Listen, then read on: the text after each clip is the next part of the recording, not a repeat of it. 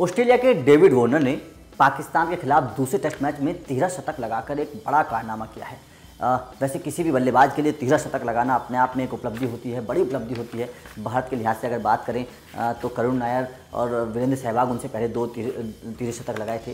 तो भारत के लिहाज से भी ये भी दो बड़े नाम हैं। लेकिन अगर बात करें डेविड वॉर्नर की, क्योंकि डेविड वॉर्नर जिस तरह से ऐसे सीरीज़ में लगातार फेल हुए, उसके बाद में उनकी बल्लेबाजी पर लगातार सवाल खड़े हो रहे थे, क्योंकि जिस तरह के वो बल्लेबाज हैं उस तरह से वो बल्लेबाजी कर नहीं पा रहे थे पिछले कुछ टेस्ट मैचों की अगर बात करें। लेकिन जिस तरह से दूसरे टेस्ट मैच में, अगले टेस्ट मैच में डेविड वॉर्नर ने बल्लेबाजी की है, वो कह सकते हैं कि उन्होंने एक आक्रामक पारी खेली। यासिर शाह, जो कि एक, कहें तो पाकिस्तान के ऐसे गेंदबाज जिसने स्टीव स्मिथ को सात बार आउट करके और सात उंगली दिखाई और ये जता दिया कि हाँ उनमें दम है। यासिर शाह को सबसे ज़्यादा निशाने पर लिया डेविड वार्नर ने और उनके 110 गेंदों पर 111 रन ठोक दिए। मतलब अच्छे रन रेट से उन्होंने उनकी उनकी गेंदों पर रन बनाए और एक कहें तो उनका करियर बिगाड़ दिया। लेकिन डेविड वार्नर के इस तिहरे शतक के बाद एक सवाल खड़े होने लगे थे कि 335 रन पर डेविड वॉर्नर नाबाद रहे। उस समय टिम्पेन ने, जो ऑस्ट्रेलिया कप्तान है, उन्होंने पारी घोषित कर दी थी। तो सवाल ये खड़े हुए आ, कुछ आ, फैंस जो डेविड वॉर्नर के फैंस हैं उन्होंने ये कहना शुरू कर दिया कि टिम्पेन ने उन्हें चौहरा जो चार शतक लगा सकते थे ब्रांड लारा का रिकॉर्ड तोड़ सकते थे वो रिकॉर्ड उन्हें नहीं तोड़ने दिया और पहले ही पारी घोषित कर दी जबकि डेविड वॉर्नर उस रिकॉर्ड को जल्दी तोड़ देते। ये सबसे ये कई आलोचनाएँ होने लगी थी ये सवाल उठने लगे थे लेकिन अब इन सवालों पर डेविड वॉर्नर खुद सामने आए हैं। उन्होंने बोला है कि किसी भी टीम का पारी घोषित करने का जो एक समय होता है वो तय होता है और जो एक योजना होती है टीम की कि हमें कब पारी घोषित करनी है वो तय होती है। तो डेविड वोनर ने बताया कि टिम्पेन की भी योजना तय थी कि हमें उस समय पारी घोषित करनी है। लेकिन उन्होंने बोला कि टिम्पेन ने मेरी मदद की, की है एक रिकॉर्ड को तोड़ने में। दरअसल डेविड वार्नर जिस समय तीन सौ चौंतीस रन पर थे पाँच बजकर कुछ मिनट वक्त हो रहा था ऑस्ट्रेलिया की बात बता रहा हूँ मैं।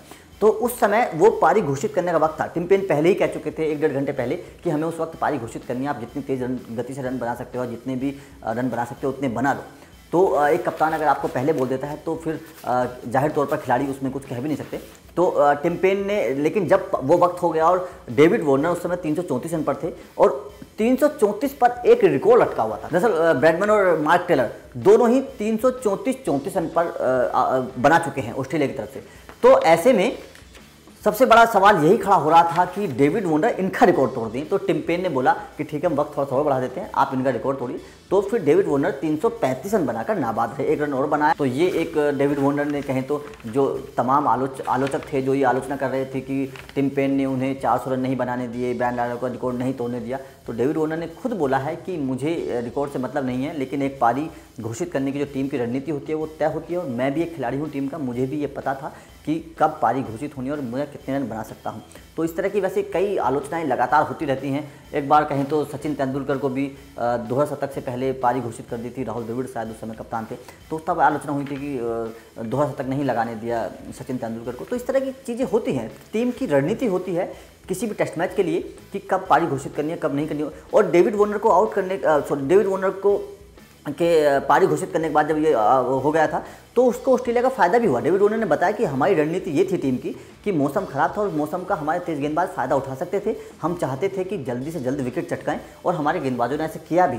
और उस दिन पाकिस्तान के छः विकेट आउट कर दिए थे ऑस्ट्रेलिया के गेंदबाजों ने। तो उसका फ़ायदा ऑस्ट्रेलिया को हुआ भी। और तो ये एक, कहें तो डेविड वोनर ने बड़ा बयान दिया है कि टिम्पेन ने उनको, उन्हें एक रिकॉर्ड तोड़ने में मदद की है। बेशक वो चार सौ रन ना बना सके हों, लेकिन वो ऑस्ट्रेलिया की तरफ़ से सर्वाधिक रन बनाने वाले खिलाड़ी बन चुके हैं। तो ये बड़ी बात है और ये कप्तान के तौर पर टिम्पेन के लिए एक बड़ा बयान है, डेविड वोनर का उनके खिलाड़ी का।